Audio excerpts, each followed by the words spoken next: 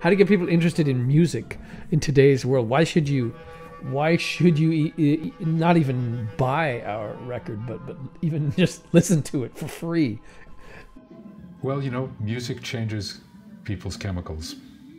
And, you know, I, I felt that the concert at Exploratorium, besides it being an incredibly uh, welcoming venue for doing improvised music, and as you were saying, it's like an institute for improvised music, has great acoustics, you know, beautiful floor, and a good audience. So it really, it really feels good. And when the setting is right, even sometimes when it's not, the communication is good, and and we played. I mean, improvising to me really puts it all out there in the moment.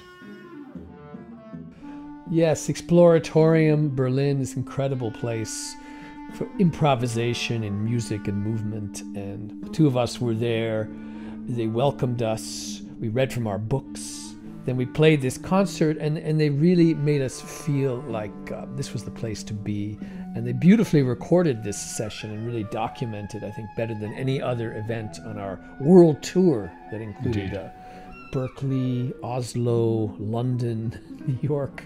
It was in Berlin that it really came together. And I'm so glad this music's out there for everyone Well, to listen Berlin's to. home away from home, you know, certainly for me, and probably for you too, I know.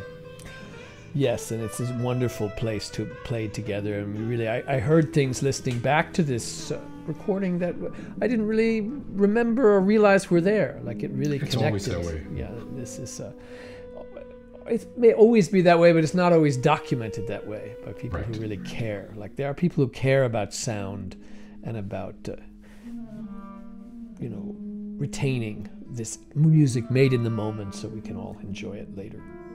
Absolutely. You know, it's it's important to document this stuff, and I mean, I do hope that people listen because certainly playing it at that moment, there was an intensity, you know, a saturation of sound, and I think, yes, we're happy to have it captured.